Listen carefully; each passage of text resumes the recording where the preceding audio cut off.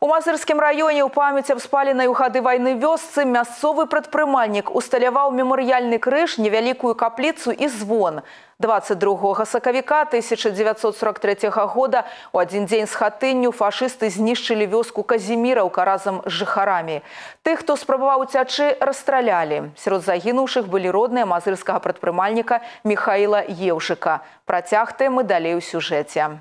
Калісьці на гэтым месцы стаяла вялікая гасцінная хата. 22 сакавіка 43 дом, як і дзясяткі іншых спалілі карнікі. Загінулі 127 вяскоўцаў. Сярод іх каля 10 чалавек родная мазырскага прадпрымальніка Михаіла Еўжыка. Яго маці Марфа Савельевна выйшла замуж і жыла ў суседняй вёсцы. Напярэдадні трагедыі яна прыехала ў бацькоўскую хату, хацела пакінуць сваю шасцігадовую дачку Надзю з бабуляй, але дзяўчынка захварэла і дадому вярнуліся разам з ёй. А праз некалькі гадзін даведаліся, Казіміраўку і ўсіх яе жыхароў спалілі. Хто спрабаваў выратавацца, расстралялі.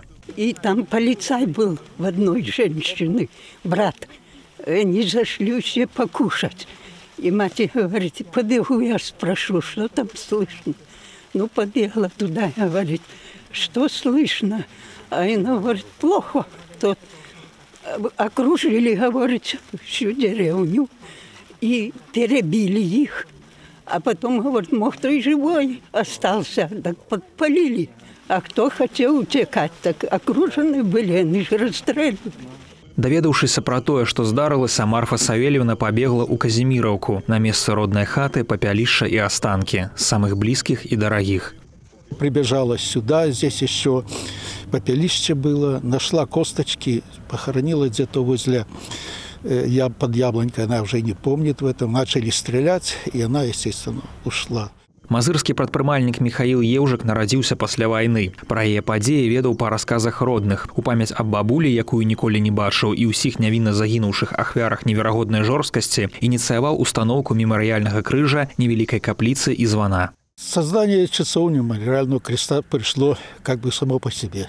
Никто это не подсказывал, никто это не, ну, не наставлял, а просто душевное состояние такого человека. Я родился сразу после войны, видимо, это с молоком матери, и все горы и вошло в меня, поэтому как бы есть э, такая потребность душевная оставить не просто память, а как бы пообщаться с теми людьми, которые перенесли всю эту трагедию, как говорится, в другом мире. А мы в этом мире должны об этом помнить и, не дай бог, никогда не допускать. Особенно между усобиц каких-то распрой и, и, и так далее. Карная аперацыя 22 сакавіка 1943 года у ваенным календары Беларусі пакінула выпалены след. У праваслаўнае свята святых 40 пакутнікаў былі спалены десяткі вёсак. Мазырская хатынь казіміраўка. Цяпер тут стаіць капліца, каб задумацца і памаліцца за душы нявінна загінуўшых. Мікалай Скінціян пры падтрымцы тэлеканала Мазыр.